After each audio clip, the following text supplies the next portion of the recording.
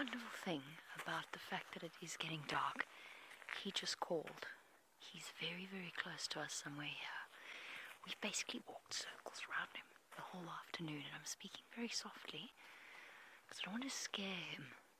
Male lions on their own, on foot, nine times out of ten are going to get up and bolt away. So all we want to do is get a brief view of where he is and then call James in to come and take our place. So that's what we're planning. He's just called now.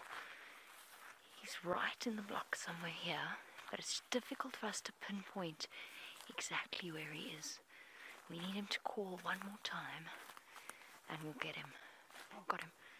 Got him. There he is. There he goes. Hello, boy. How awesome is that? Hello, boy. Very cool. Well done, Seb. Come. Don't want to scare him away.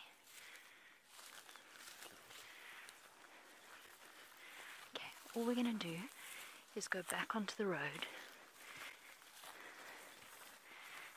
and call James. Chantel, call James and tell him to come to Weaver's Nest.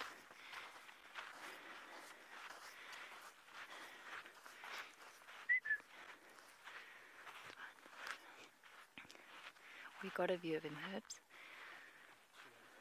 He's somewhere here. Yeah. I think he's got a little bit of a fright though, so we're just gonna go a little bit around. Cool. So we had the lion on foot. We're going to get a James in. Brent is back up and running. What an exciting sunset safari it's been.